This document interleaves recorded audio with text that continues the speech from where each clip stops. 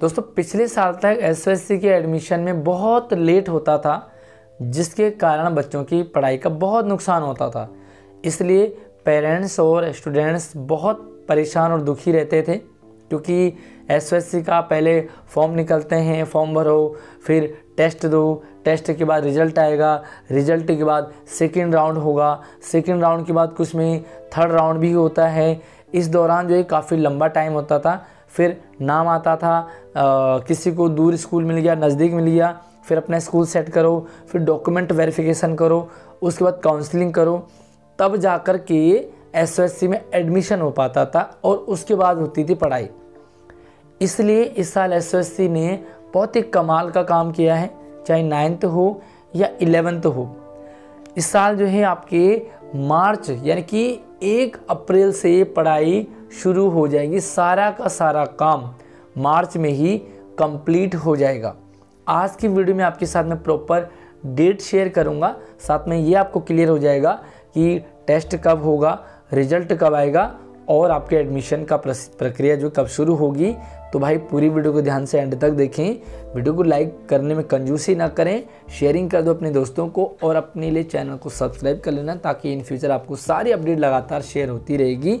मेरे बारे में भी जान लो मैं हूँ आपके साथ आशीष सर।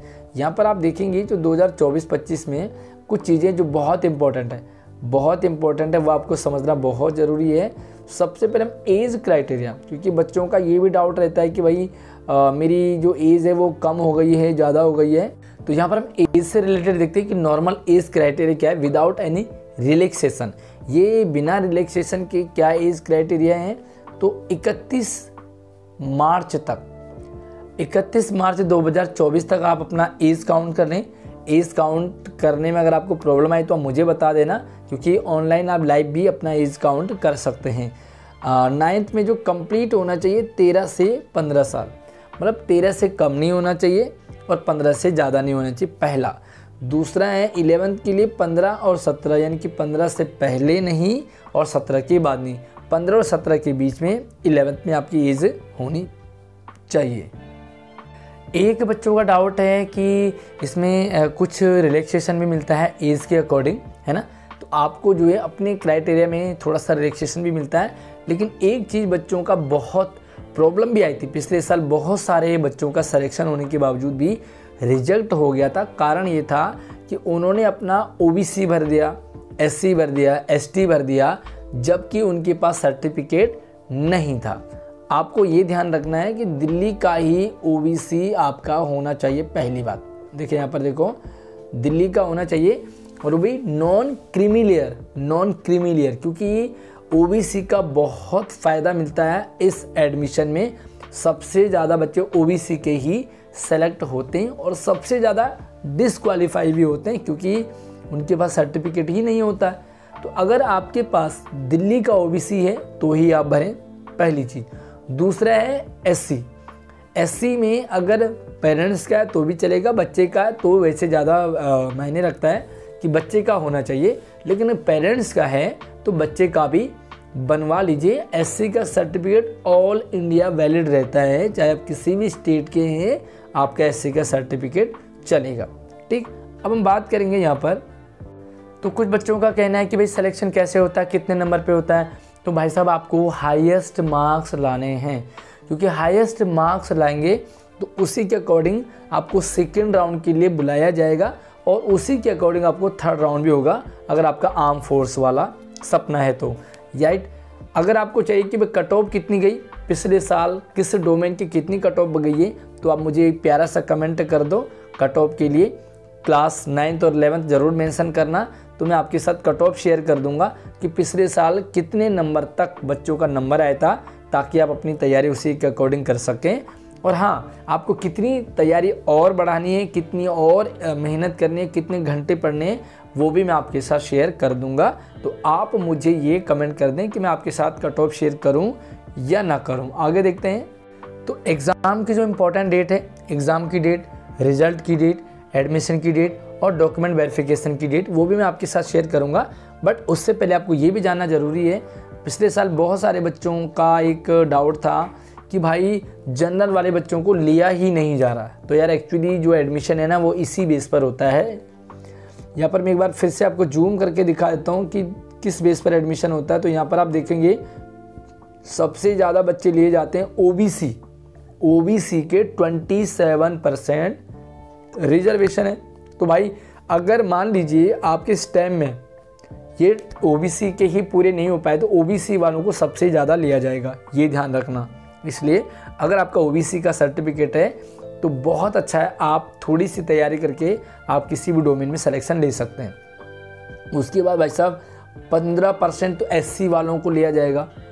एसटी वालों को साढ़े सात परसेंट और तीन परसेंट सी डब्ल्यू यानी कि स्पेशल जो दिव्यांग बच्चे होते हैं, उनको लिया जाता है। तो यार, क्या गजब का मतलब ये कि S C S T O B C वालों को ज़्यादा लिया जाएगा सी डब्ल्यू सी वालों को? बाकी अगर आप जनरल हैं तो भाई आपको बहुत मेहनत करनी पड़ेगी, बहुत मेहनत। क्योंकि पिछले साल जनरल वाले बच्चे बहुत रो रहे थे, बहुत अच्छा पेपर होने के बावजूद भी उनका नहीं हो पाया। तो आपको जो है अपनी तैयारी आज से ही अच्छी कर लेनी है, अगर आप जनरल हैं। बाकी आप मुझे कमेंट सेक्शन में ज़रूर बताइए कि आपकी कौन सी कैटेगरी है है ना? और यस आप दिल्ली के ओबीसी हैं या नहीं हैं, वो भी आप ज़रूर कमेंट में शेयर करें। अब यहाँ पर आप देखेंगे कि इंपॉर्टेंट डेट पिछले साल क्या होता था कि जनवरी एंड सॉरी दिसंबर एंड में तो फॉर्म ही निकलते थे। फॉर्म निकलने के बाद सारा काम डिले होता था, लेकिन इससे बच्चों की पढ़ाई को बहुत नुकसान होता था। इस साल इन्होंने नवंबर में ही फॉर्म निकाल दिए और आपके बहुत जल्दी। यहाँ पर आप देखेंगे तो commencement of online registration of application तो 23 नवंबर से शुरू हो गए थे। उसके बाद क्लोज़ यानी कि 22 दिसंबर तक तो भाई क्लोज़ भी हो जाएँगे। 22 दिसंबर के बाद आप फॉर्म ही नहीं भर सकते और पिछले साल तो 22-25 के करीब तो फॉर्म ही निकले थे। तो फॉर्म ही इन्होंने जल्दी कर दिए और भाई इस बार आपको आगे डेट नहीं बढ़ेगी, इसलिए आप ध्यान से पहले ही भर दीजिए। अगर आप फॉर्म नहीं भर पा रहे हैं, आपको दिक्कत आ रही है तो छोटी सी मामूली सी फ़ीस आपसे ली जाएगी और मैं आपको फॉर्म भर के आपको दे दूँगा, प्रॉपर तरीके से। है ना? तो आप मुझे कमेंट कर दीजिए। आप मुझे व्हाट्सअप पे इंस्टाग्राम पे मैसेज कर सकते हैं। अपनी डिटेल के साथ नंबर आईडी डिस्क्रिप्शन में है। ठीक है? उसके बाद यहाँ पर देखेंगे कि लास्ट डेट ऑफ़ करेक्शन अगर आपके फॉर्म में कुछ प्रॉब्लम रह गई हो, कुछ दिक्कत आ रही हो या आपने गलत भर दिया हो तो आप 22 तारीख तक ही अपना करेक्ट भी कर सकते हैं। उससे आप एडिट कर सकते हैं। अगर आपको जानना है कि एडिट कैसे करना है तो आप सब चीज़ कमेंट कर दो। जितने ज़्यादा कमेंट होंगे, उसके अकॉर्डिंग मैं आपके लिए सेपरेट वीडियो प्रोसीजर लेकर आ जाऊँगा। उसके बाद आपको जो भाई एडमिट कार्ड की ज़रूरत पड़ेगी तो डाउनलोड एडमिट कार्ड जो आपके एडमिट कार्ड होंगे ना, वो सेकेंड वीक ऑफ़ जनवरी, यानी कि आपको पंद्रह जनवरी से पहले पहले तक आपके एडमिट कार्ड भी आ जाएँगे। भाई मतलब सारा काम बड़ी तेज़ी से होगा इस साल। और जो भी आपका एग्ज़ाम होगा फ़र्स्ट राउंड वो होगा आपका 16 जनवरी से 31 जनवरी। मतलब जनवरी एंड तक आपके एग्ज़ाम भी हो जाएँगे एग्ज़ाम भी हो जाएँगे। और रही बात रिज़ल्ट की तो रिज़ल्ट आपका फ़र्स्ट राउंड का जो रिज़ल्ट है ना, वो आपके फरवरी में लगभग 15 फरवरी तक रिज़ल्ट भी आ जाएगा। और रिज़ल्ट आने के बाद आपका रहता है एडमिशन तो 15 फरवरी तक आपका रिज़ल्ट आ जाएगा, उसके बाद आपको सेकेंड राउंड का रहता है और आपको भाई फाइनल यानी कि मार्च 20 तारीख तक आपका डॉक्यूमेंट वेरिफिकेशन हो जाएगा और 31 मार्च तक सब कुछ क्लियर होके एक अप्रैल से आपकी पढ़ाई भी शुरू हो जाएगी, जबकि पिछले साल यही पढ़ाई आपकी अगस्त और सितंबर तक भी शुरू नहीं हुई थी। तो भाई क्लास नाइन्थ और इलेवंथ का सब कुछ पहले ही क्लियर हो जाएगा। फिर भी छोटा बड़ा जो भी डाउट आपका रहता है, मुझे आप मुझसे आप कमेंट कर दीजिए।